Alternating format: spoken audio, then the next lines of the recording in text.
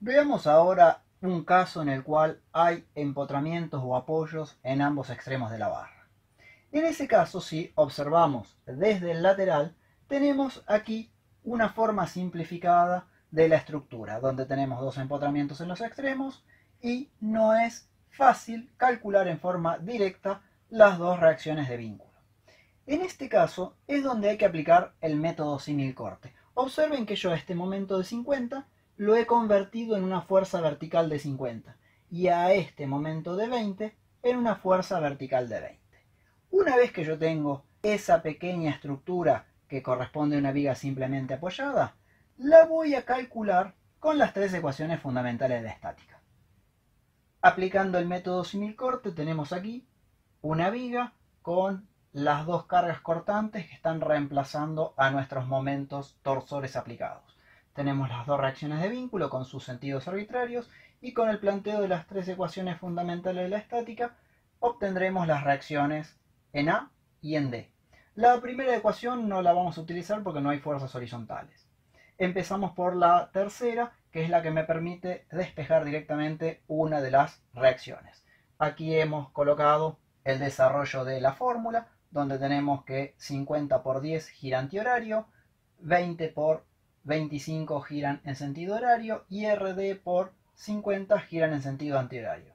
Operando matemáticamente, obtenemos que RD de casualidad da 0.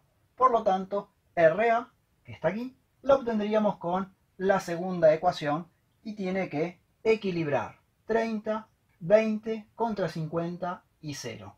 De esa manera tenemos las reacciones de vínculo en los dos extremos. Observen un detalle importante. Yo aquí no he utilizado unidades de medida. Y en el cálculo aquí abajo, tampoco.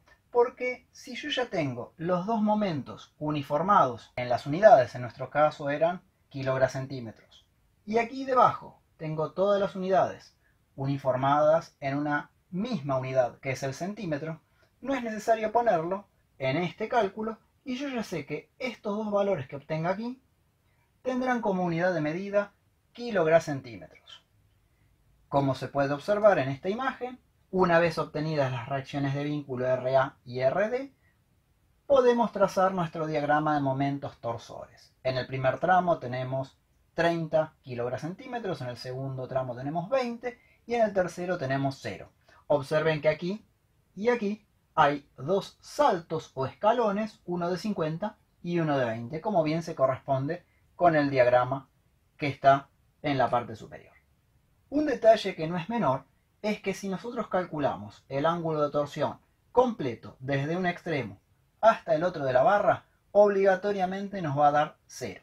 Eso es debido a que como los dos extremos están empotrados, en esos puntos no ha girado la sección de la pieza, con lo cual es lógico que su ángulo de torsión sea 0. Si calculásemos los tres ángulos de torsión correspondientes a cada uno de los tres tramos con los tres valores de momento de los diagramas y sus correspondientes distancias, manteniendo los signos que se pueden apreciar aquí, y realizamos la sumatoria, obviamente obtendremos el valor 0. Es por ello que en estos ejercicios habitualmente se pide el ángulo de torsión en este punto o en este punto para poder tener un valor de cálculo que no sea 0. Si queremos calcular las distorsiones no habría ningún problema, porque con la tensión que surge con el momento de ese tramo, podríamos aplicar luego la ley de Hooke y obtenerla. Otro tanto ocurriría aquí. Un detalle para nada menor es el siguiente. Cuando yo vaya a dimensionar a esta pieza, la tengo que hacer con el momento de este tramo, que es el valor de 30, que es el máximo momento que está sufriendo la estructura. Porque recuerden que lo que nos interesa no es el estado de cargas aplicado, sino los efectos que ese estado de cargas produce en la estructura. Y los efectos están especificados en nuestro diagrama de momentos torsores. También es fundamental recordar lo siguiente. Cuando yo quiera dimensionar esta estructura, lo haré a partir de esta fórmula que vemos aquí, con este despeje. Y obviamente de aquí podríamos obtener o el valor del radio o si trabajamos con un tubo estructural, sacamos de una tabla cuál es su módulo resistente polar. Pero el valor del momento que va a ir aquí, obligatoriamente será en este ejercicio este valor de 30. Y aquí no podemos hacer un cálculo por tramos si es que hemos empleado para hallar las reacciones de vínculo el método símil corte. Porque el método símil corte, para que pueda ser aplicado para obtener las dos reacciones de vínculo, necesariamente se han hecho previamente las siguientes salvedades.